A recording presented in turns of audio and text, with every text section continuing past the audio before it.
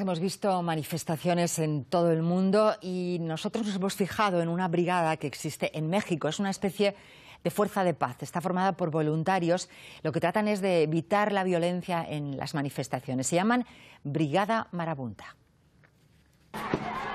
Es fácil distinguirlos por sus cascos rojos. Cuando las calles de la capital mexicana se convierten en un campo de batalla, ellos se interponen entre policías y manifestantes es el momento más difícil, ¿no? Porque ahí pues nos agarramos y empezamos a meternos y sí nos llueve de todo, nos golpean, ¿no? De, los dos lados, porque ahí no hay, no hay cancha para que se entienda qué pretendemos.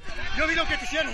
Se declaran neutrales y se guían por principios humanitarios, median entre las partes, atienden a los heridos y documentan agresiones policiales como la que sufrió esta adolescente hace dos semanas.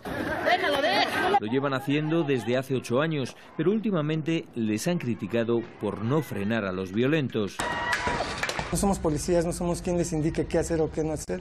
Rechazamos directamente lo que pueda dañar la integridad física, ¿no? Pero Sí, ya cuando nos hablan de, la infraestructura, se vuelve complicado, les decimos, pues, pues no, o sea, no nos da la vida ni para resolver esto. Ahora son ellos los que corren peligro. Tras recibir amenazas, van a parar durante un tiempo. La Brigada Marabunta se ha convertido en una especie de fuerza de paz en las movilizaciones sociales. Aquí en la capital mexicana las hay prácticamente a diario y a menudo se tornan violentas. De ahí estas barreras que protegen algunos edificios oficiales.